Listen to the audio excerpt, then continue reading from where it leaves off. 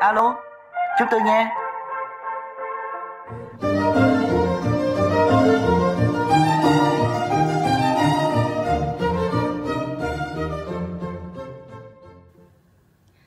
Thưa quý vị và các bạn, sau khi chương trình Alo chúng tôi nghe chia sẻ câu chuyện của bạn Kim Phượng ở quận 7, thành phố Hồ Chí Minh, rất nhiều thính giả đã gọi điện nhắn tin đến số điện thoại 0903 189 650 để bày tỏ suy nghĩ, thái độ lựa chọn trước vấn đề mà bạn Kim Phượng đang trăn trở.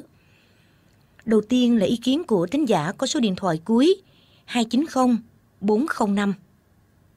Bạn cương quyết không quay lại với người chồng đã đối xử tệ với bạn, nên để con trai trực tiếp nói lên suy nghĩ của bé.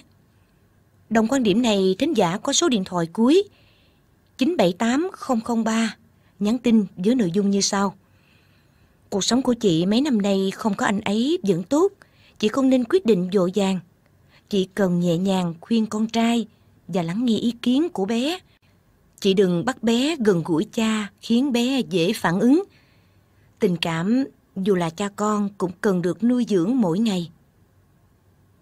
Khác với sự lựa chọn này, tính giả có số điện thoại cuối 978 389 nhắn với bạn Kim Phượng.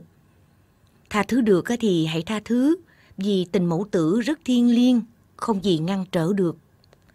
Thính giả có nickname cô bé thông qua trang www.facebook.com suyệt alo chúng tôi nghe VOB. Bạn viết, mong chị tạo cơ hội để bé và cha của bé gần nhau, vì có gần nhau họ mới hiểu và có tình cảm với nhau. Bạn Kim Phượng thân mến, bạn có biết câu chuyện túi khoai tây không ạ? À? Uhm, khi ta để lòng oán giận ai đó, cũng có nghĩa là ta đeo mang túi khoai tây đã mọc mầm, hư thối bên người suốt ngày. Và như vậy thật nặng nề, khó chịu phải không bạn? Chỉ bằng ta đặt túi khoai tây xuống, bước đi trong thanh thản, tâm hồn được nhẹ nhõm. Ta sẽ có thời gian và tâm trí để bạn đang bối rối, trăn trở, khó khăn trước một chọn lựa hay đang dây dứt do một sai lầm trong quá khứ? Hãy đến với chương trình Alo chúng tôi nghe để nhận được sự thấu cảm, chia sẻ, góp ý của thính giả cần xa. Bạn có hiểu biết, sự từng trải, vốn sống, kinh nghiệm sống. Hãy đến với chương trình Alo chúng tôi nghe để trao gửi cho nhân vật trong câu chuyện Alo chúng tôi nghe những suy nghĩ, lời khuyên bổ ích, thiết thực. Hình thức tham gia Quý vị và các bạn gọi điện thoại đến tổng đài 1900 571518 nhấn phím số 0 gặp trực tiếp điện thoại viên để gửi ý kiến phản hồi, bày tỏ cảm xúc, góp ý hoặc nhắn tin gọi điện đến số 0903 189 650. Email alo chúng tôi nghe vob a gmail.com Fanpage www.facebook.com Xuyệt alo chúng tôi nghe VOB Alo chúng tôi nghe người bạn tâm tình đáng tin cậy.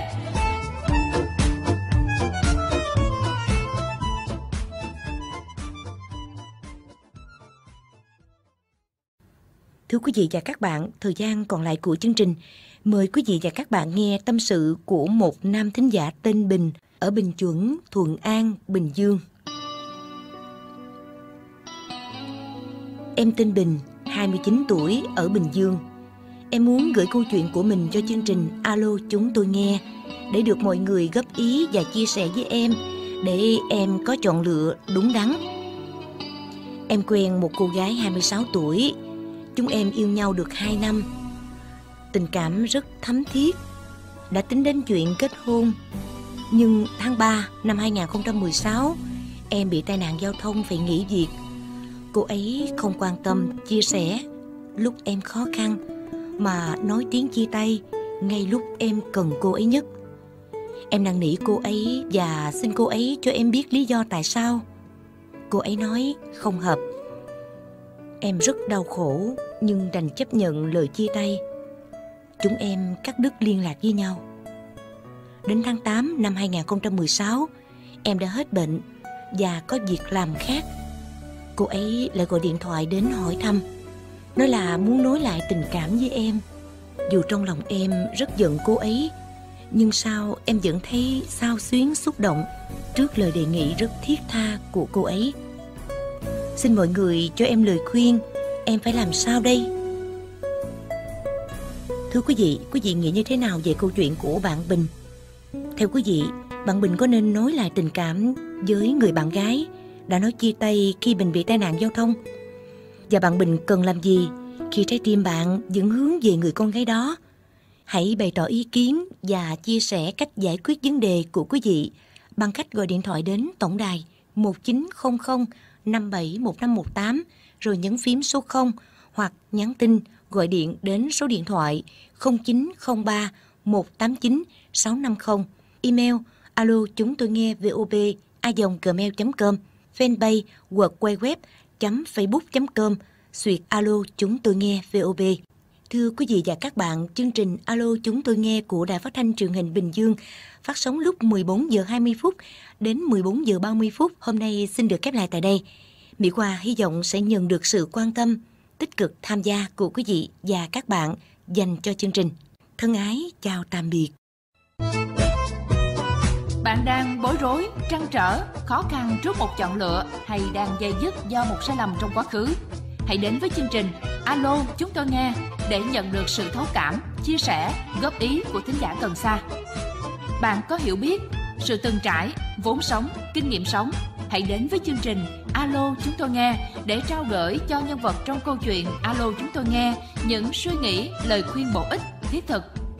Hình thức tham gia Quý vị và các bạn gọi điện thoại đến tổng đài 1900 571518 nhấn phím số 0 gặp trực tiếp điện thoại viên để gửi ý kiến phản hồi, bày tỏ cảm xúc, góp ý hoặc nhắn tin gọi điện đến số 0903 189 650.